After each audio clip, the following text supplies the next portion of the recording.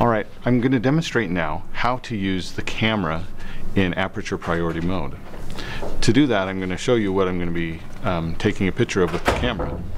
So let's go right here and look right here at these objects. I have the camera set up and then I have three little dumbbells, not people, but actual dumbbells that are uh, set a little different distance from the camera, medium, and a, a little further distance from the camera. Um, it's possible to take a picture and have all of them be in focus, or it's possible to have just one of them be in focus. What I'm going to do is I'm going to focus in on just the middle one, but first of all I want to show you how to set the camera on, uh, on aperture priority. All right, here's the camera. Uh, you'll notice that I have, I have the camera on right now and I'm going to look at the display by pressing the display button. Notice it's showing 1 200th a second and ISO 1600. Uh, when I did the shot in the gym, the ISO, it started at 100 and I changed it to, to um, 1600. So I'm going to click the ISO button on the top again because I want to change the ISO. And I'm going to roll the wheel to change it. So here I go, I'm going to roll that wheel and roll it up to, two, to 100. And then I'm going to I can hit press set and then notice the ISO now is set at 100.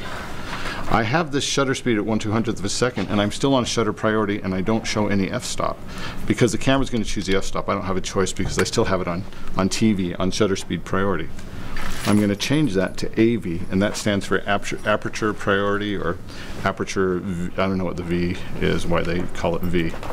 Um, but now, when I look through the camera, this this particular camera doesn't show a preview, but when I look at the at the display, it shows that it's f8. I'm going to move it all the way open. So I'm going to just roll the wheel, that the wheel right here, as to as to the lowest number that it'll go to. That means the aperture is instead of closed, it's open as far as I can for the lens. So instead of closed, it's open. The lowest number is open. Now I'm going to look through the lens. So, so I'm going to go right through here and I'm going to focus on the middle item. If I can get to do it. it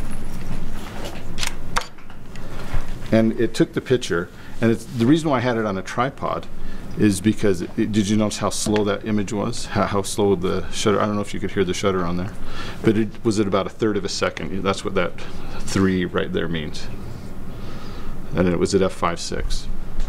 Now I'm going to close down the shutter speed a little ways. So I'm going to um, hit the display button again and I'm going to close it down to about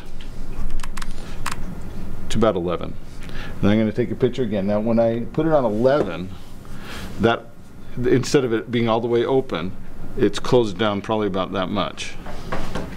So I'm going to take that picture, I'm going to focus on the same item, if I can get it to do that.